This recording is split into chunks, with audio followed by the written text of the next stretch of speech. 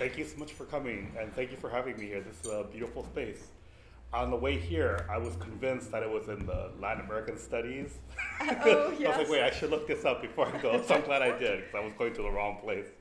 Uh, so thank you for having me.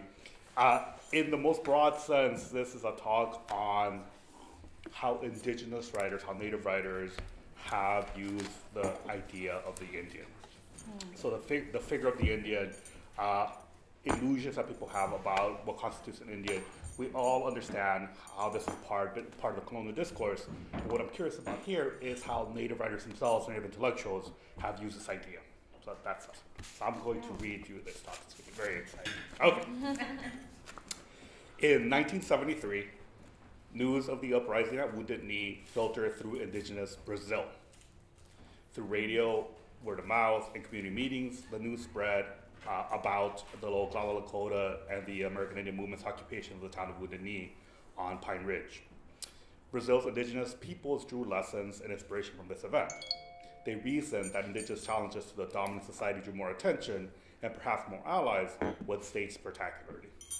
From that point on, communities resolved to influence governmental policy by bringing to light the oppression they faced through public demonstrations, aimed to draw the media's attention. From tribal people in the north, Brazil's native peoples were stirred into new, a new form of resistance. Fascinating thing to me that Amazonian communities drew inspiration from Wounded Knee.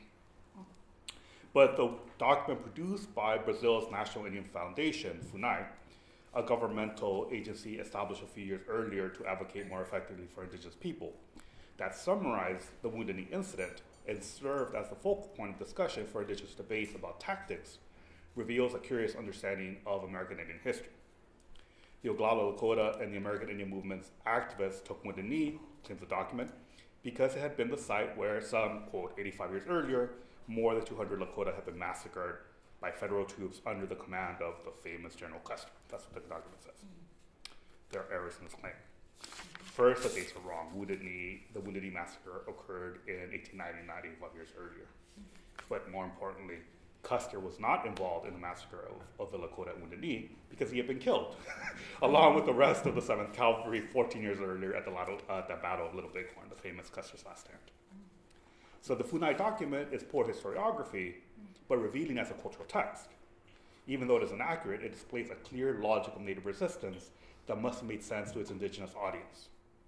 The historical Wounded Knee of the document, the Wounded Knee where the Lakota were massacred in 1890, signifies the injustice with which white America has treated Native America. General Custer is the embodiment of unjust white power, but he's also famous for having been killed by Native warriors, and therefore also denotes the ability of indigenous peoples to defend themselves effectively against that power. General Custer massacres Lakota, but is in turn killed himself by Indians. The Funai, the Funai document revi- rewrites history so that Custer's last stand is the vindication for the massacre of Wounded Knee. It inverts all the history to tell a story of Native resistance.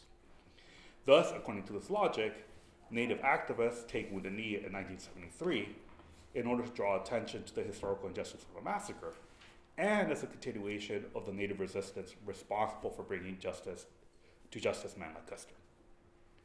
We could say that the Funai document is a kind of historical fiction because it fictionalizes American Indian history in order to draw from it a meaningful narrative of Native defiance.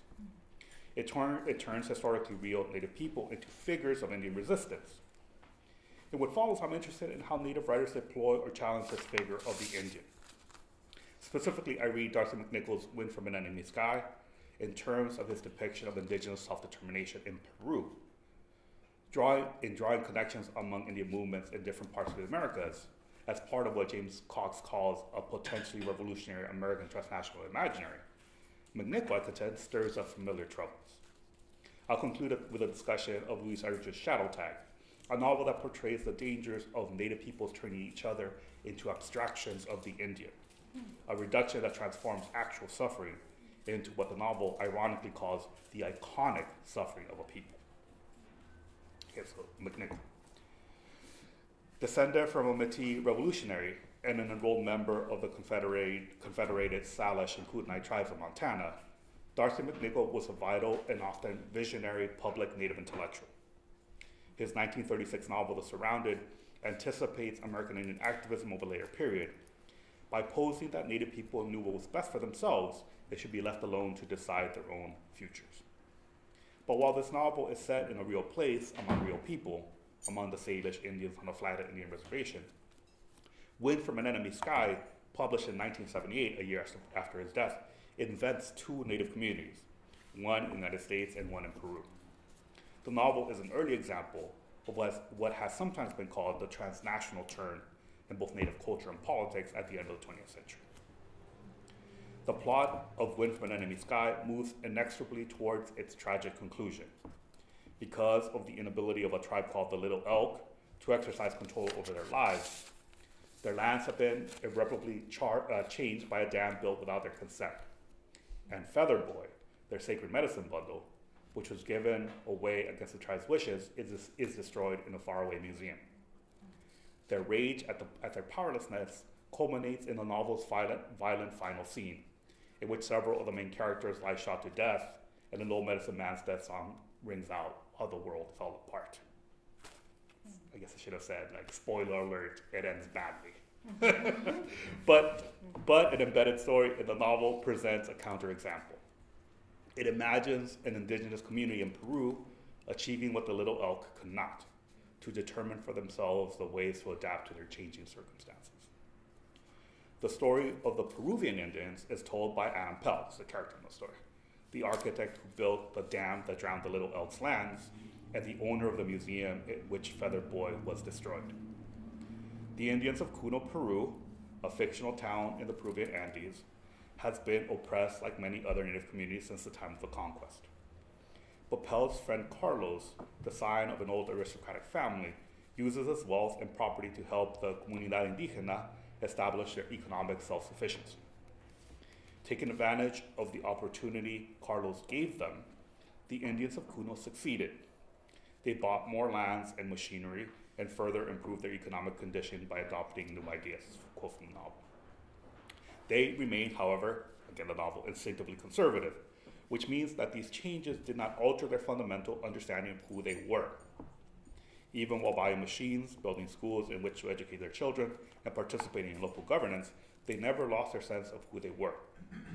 Eventually, their success allowed them to become integrated into the larger community, thereby healing, in the novel's words, the centuries old traditional division between the two groups the last act of the Comunidad Indígena as a separate political body was to unite its funds with the rest of the town in order to build a hydropower plant, embracing this powerful signal of modernity, the same signal that signifies the beginning of the end for the Little Elk.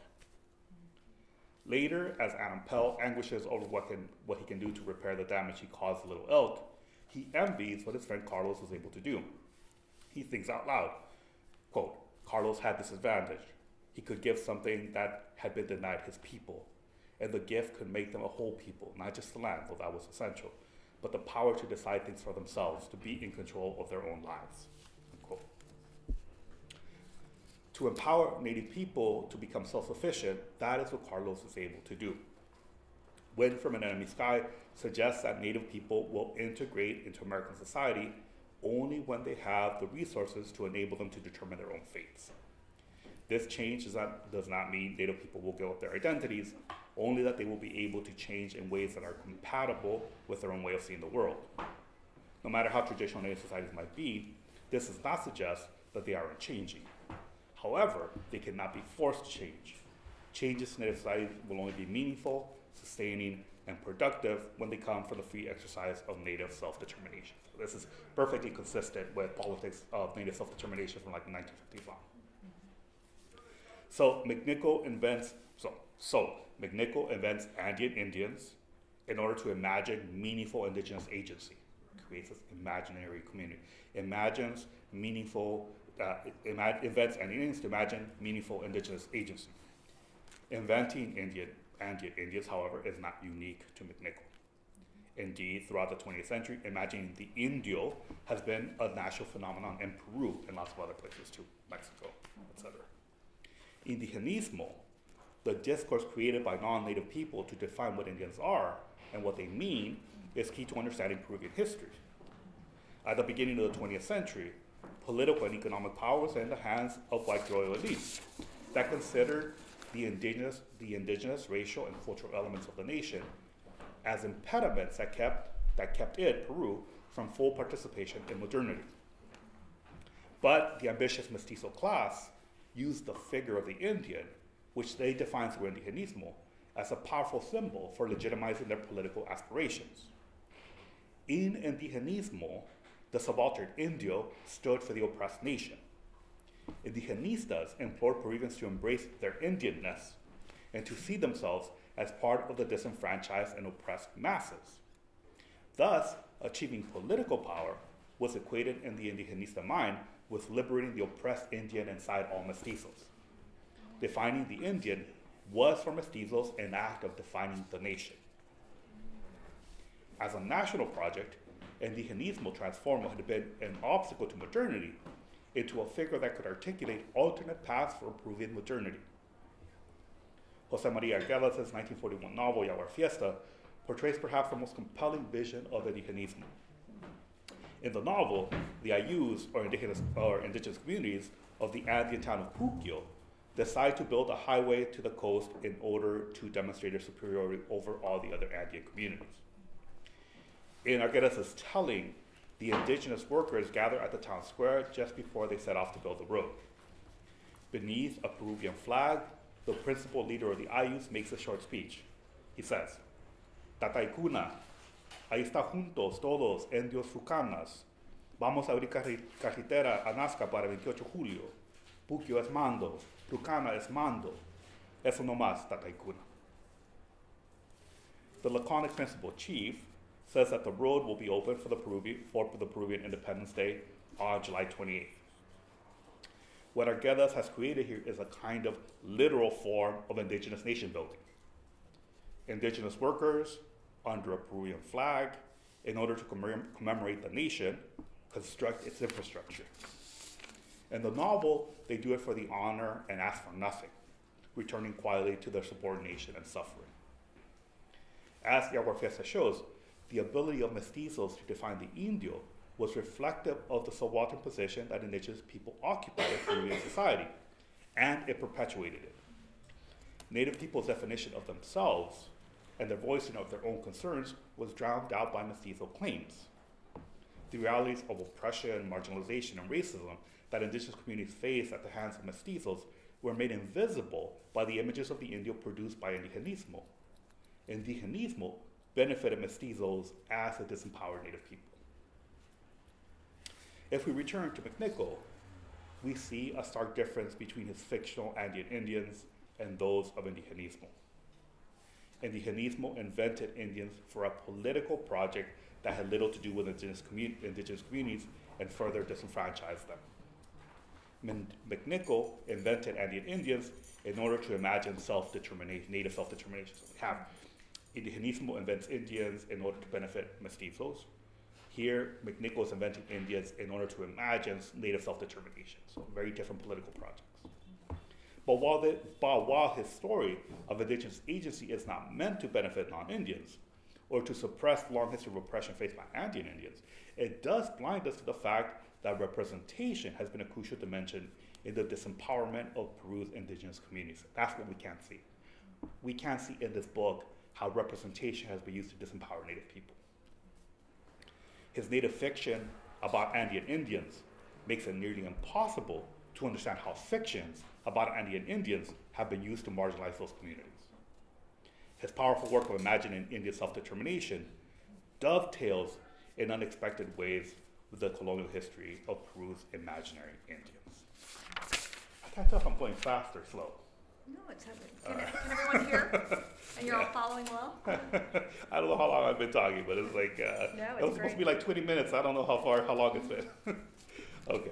You're good. Okay. The depiction of the, okay, so the depiction of the idea of the Indian by native people is treated tragically in tragically emotional terms in Louise Erdrich's Shadow Tag. So now we're transitioning here to Shadow Tag, which is also going to be interested in how native people use the idea of the Indian a native family's unraveling, hatred permeating every fiber of the parent's life, the children suffering a disaster they see coming but are unable to change. These are the affecting dimensions of a novel that is at the same time committed to understanding how representation affects Indian life. The central drama is a growing loathing between Irene America, that's the, the woman's name, Irene America, and her husband Gil. Gil is a working painter, and Irene is the subject of all his important art. Gil is talented but cruel and possessive. Irene is intelligent but resentful and enabling. Their relationship is unequal, as are the family's dynamics. And the power that Gil holds over everyone is figured in terms of the power he wields over his art. His painting of his wife, which in his mind is the same thing as painting all Indians, leads to the family's destruction. Images of Native people, even where they're created by natives themselves, the novel tells us can be destructive. So rather than in what we see in uh, with Renami Sky, we see the Native people producing representations of Native people, this idea of the Indian. In this novel, we have a critique of Native people, again, producing that figure of the Indian. Gil has painted his, his wife during the entire length of their relationship. And as he matured as a painter, he came to understand the symbolic potential of the figure of his wife. This is his words here. He'd been working on a mythic level with her portraits. Her portrayals immediately evoked the problems of exploitation, the indigenous body, the devouring momentum of history. More than that, he progressed to a technical level that allowed him an almost limitless authority. Unquote. In painting his wife, Gil paints what amounts to a form of Indian history. She is a symbol whose body is consumed by narratives that are projected onto her, what Gil calls the mythic level. She is a signifying body and the movement of history. Her form is subsumed to those narratives to the extent that he, contro- that he can control his painterly expression.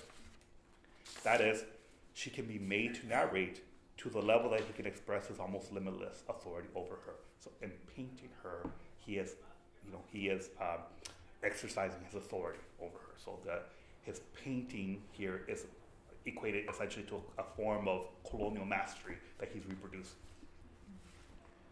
He considers his painting of Irene an act of love, even though he often depicted her in a cruel light. But he used her brutalization to declare what to him was a higher truth. He thinks that he used, quote, her humiliation as something larger, as the iconic suffering of a people. Though that phrase for critics is a critic's, and he finds it chokingly reductive, it nonetheless conveys how he understands what his paintings mean. In order to tell his story of Indian suffering, Gil must make his wife into a symbol, and also he must make her suffer. Make his wife into a symbol, a meaningful object, really. And in order to do that, he must possess and master her. Irene recognizes the situation, but deals with it in a way that compounds its destructiveness. She writes to Gil in her diary, quote, Here is the telling, here is the telling thing. You wish to possess me. And my mistake, I loved you and let you think you could, unquote. He needs to possess her for his art, as she lets him believe that he can possess her, while still believing she is free from the power of his depictions. At least that is what she thinks as she first begins to ponder their situation. What power could images hold, she wonders. Quote, the image is not the person, she thought, or even the shadow of a person. That's the movie, the novel is called Shadow Tag. So how can, a, how can a person be harmed by the depiction? Even appropriation of something as intangible as one's image. But the more she considers it, the more she realizes how much of Gil has actually managed to control by painting her. Her name and her image were now inextricable from Gil's mastery. Quote, Irene America. Her name was now a cipher joined to simulacra. Cipher, a code named to simulacra, an image of an image. So no reality there, a mystery tied to a, a depiction of a depiction, a second order thing. And the portraits were everywhere. By remaining still in one position or another for her husband, she had released a double into the world it was impossible now to withdraw the reflection. Gail owned it. Unquote. Here she has answered her earlier question. The image of her created by her husband full of his intentions and narratives and mysteries, a cipher has been let loose on the world. Her face and her body, in all their po- po- sorry, in all their postures and poses, were now made to speak in another tongue, tell someone else's story. Her portrait became a simulacrum, an image of an image, a painting of iconic suffering, and would no longer simply depict her. She might have believed that she let Gil think he possessed her, but through his paintings he indeed came to own her. Gil's and Irene's relationship is a kind of allegory for the broader issue of the depiction of the idea of the Indian. The novel addresses this directly. Gil and Irene get into one of their comfortable arguments about whether it's possible to depict Native people without invoking the narratives already circulating about them. Irene maintains that Indians as images are kitsch. The image of the Indian is tacky and mass produced and everywhere still, everywhere, everywhere. We always see the, there's always some um, you know, dream catchers for sale on Telegraph every weekend. The image of the Indian is tacky and mass produced and everywhere. Indians cannot reclaim their image, according to Irene. As she puts it, we'll never get the franchise back. And although Gil argues against her, his depictions of his wife, not as a person, but as an idea, a myth, and an icon, bear out her argument. What can an image really do? Shadow Tag turns to this question again in its discussion of George Catlin, the great painter of Indians and Western scenes. The depth and shadow of Catlin's painting, says the novel, caused his, in his native subjects and audience wonder and fear. Quote, some, some swore uneasily that those who allowed their portraits to be painted, eyes open, would, lie, would not lie peacefully after death, as some aspect of their being would live on, staring out at the world. Unquote. Others believe that Catlin's paintings took away the buffalo because the herds seemed to begin to disappear around the time he began to paint them. The novel decides, so it was, so it was. The images stole their subjects, and for the rest of the world became more real until it seemed they were the only things left. Here we can think about how that image of the Indian, in particular the image of 19th century Plains Indians, is more real to most people than actual contemporary Native people. That figure of the Indian is more meaningful, more realistic, more uh, full of, uh, of content than actual Native people and their, and their present concerns. When not so when non-natives depict Indians, says Erdrich, those natives can take sorry, those images can take the place of indigenous people. The more images there are of native people, made by non-natives, the less power indigenous people have to control how they will be seen and understood. However, by placing the power over Indian representation in the hands of a native artist, Erdrich touches on the problem we saw in Wind from an Enemy Sky. Native people too can contribute to images that displace real indigenous peoples in the popular imagination. Shadow Tag reminds us that Native people are not images, myths, narratives, or icons. They are human, be- they are human beings that live, love, hate, and suffer. And that we need to be reminded of this to this day is a testament to the power of the idea of the Indian. That's it.